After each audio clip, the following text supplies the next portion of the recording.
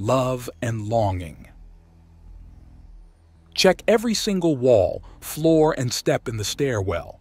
We're rebuilding this entire old manor from the ground up, Lala Harkle calls out to get people moving.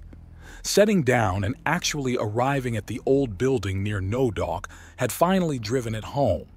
This was their new home, and there was nothing that could be done about it. Ula! Jam! Check around the grounds. There's supposed to be a jump pad. I want it uncovered before tonight. She continues as a couple of Apuk break away from the rushing crowd. And everyone remember to reinforce yourselves with axiom. We don't know if this old building is going to fall down on us or take the weight. I don't want to drag a doctor here on our first day. Things start to move along as the manor is proven to be in decent shape. It's old, out of fashion, and destabilized in some parts. But the main building, it's not only enormous but reinforced and has axiom runes to preserve it. Some paint and carpets and most of the rooms are fine. Even the windows are well preserved. There is a sense of old strength to the building that has Lala nodding. This will be a place from where they will grow.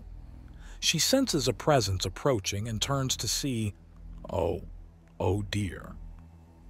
Lady Tyr, it is an honor to meet you, Lala Harkul says, bowing to the Baroness. Thank you. I do hope your family does not mind the building in question. It is old, but storied. The family that used to live here was lost several generations ago. They had business with the Orega girls, and its matriarch was considered one of the higher ups. You mean, if you've seen Bone Chewer 12, Blood Fangs, then you have a general idea of what happened. Oh, yes, oh, Uth Tyr says, and there's a chuckle behind them. Oh, oh, this will be gold, Koga notes with a grin. Why is there a sorcerer here? I mean, why are you here, sir? Lala Harkle asks in a distressed tone. I offered to woodwalk her here and she accepted. Koga says plainly. I see, Lala says looking back to the large building. This is a reminder that we're being watched, isn't it? It's also an honest offer. Uthtir confirms. Let's be frank, if a sorcerer wants into some place they're going to get in. This way, if we make certain paths easy, we know where to look for them. Like leaving your stance deliberately open from certain angles so that you know where an attack is coming from. Koga adds in. Unless the enemy knows that such a thing is being done, and instead of going for the bait, they just power through where you're strongest but actually weak and ignoring. Lala Harkle snaps back. Oh, clever. Where was this intelligence when it came to, no, that's done.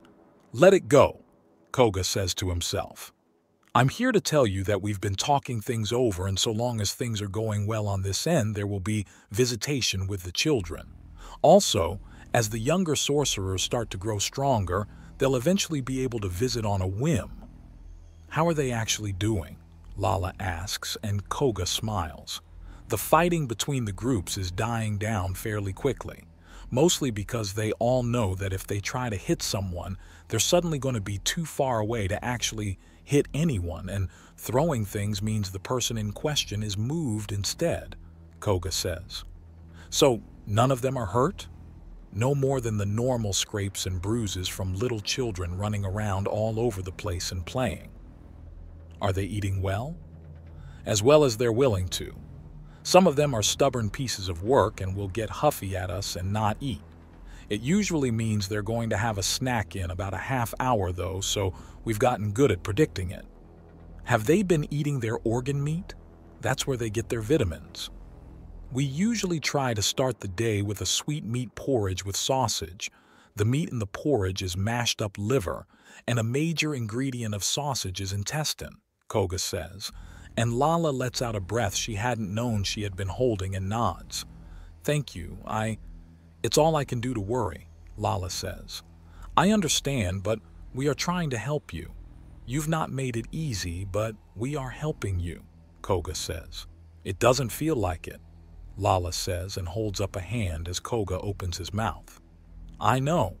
A new home away from the Barlas. a chance for our noble title, and while they're not with us, our children cared for so we can focus on rebuilding. I understand it's good. It doesn't mean it feels good. So long as your feelings aren't making your choices, then you'll do fine, Koga assures her. Which brings us to what kind of duties the Harkle will be having here in the Tyr Barony. It involves the badly depleted forces of Nodok and the attack not long ago. Uthtir begins and Lala nods. The Jate Barlas is of course the one to walk up to the person clearly in charge of the madness when they arrive. He's a slight sort and vaguely familiar. Her heart jumps into her throat when he turns and she realizes she just stomped up to the Duke Hart Guran. Would you be the head of the Barlis family? he asks, and she stops before nodding. I am Jate Barlis. There is no official matriarch, but when I speak, the Barlis listens, Jate says, and Hart Guran nods before turning away. Good. Now the foundations of this old building and the bunkers beneath it that once served as armories are in good shape. However, there was a lack of proper preservation runes on the walls and ceilings. Therefore, it will be built anew and properly reinforced this time. I apologize for the inconvenience about this, he says, and she stands beside him. I am taking a risk with you. The military forces of my land are pitiful, yes, but the trade deals and agreements we have with the surrounding provinces have prevented war for a long time. What's changed? Jate Barlas asks. Me. My family was strong before. Now it is merely me. Many of the old agreements are being left unrenewed by the other side. They are snubbing me and attempting to play their games of power and ownership.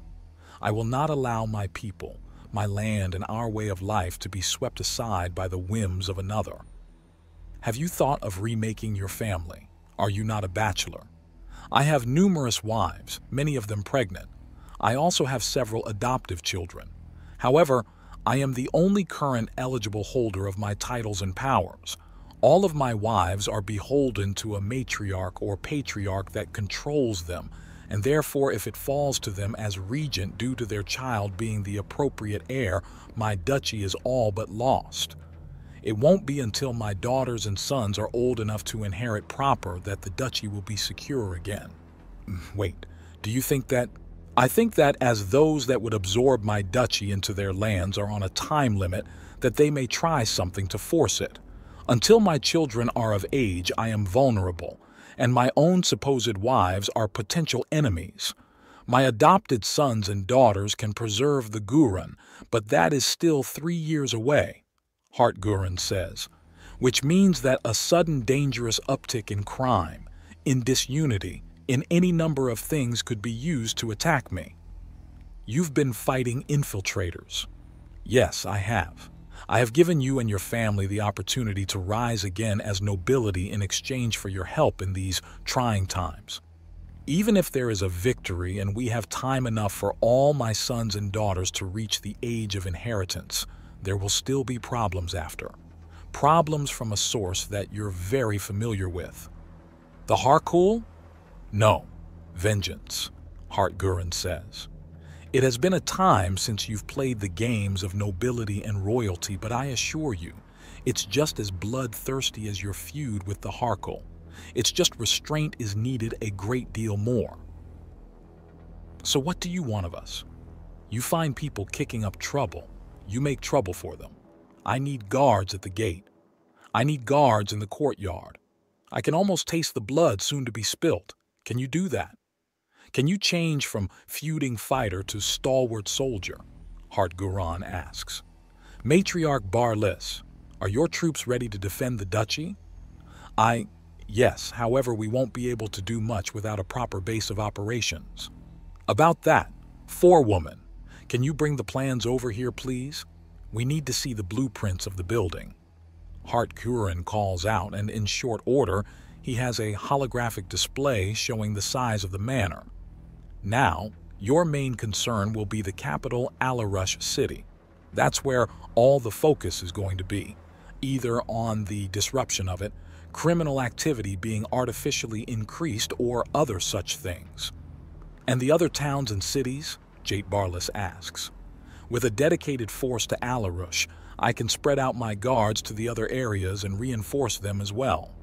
But that can only take place after a grace period, where your family learns the ins and outs of protecting Alarush. Hart Guron explains and Jate Barlas nods. I see now. Jate begins before there's a sudden blast of movement as a series of axiom runes start dragging all the materials into proper position. In seconds, the framework of the building is in place and the workers start shifting the runes so that the next level can be built. Hart Guron says nothing for a moment. Then he indicates the blueprints again.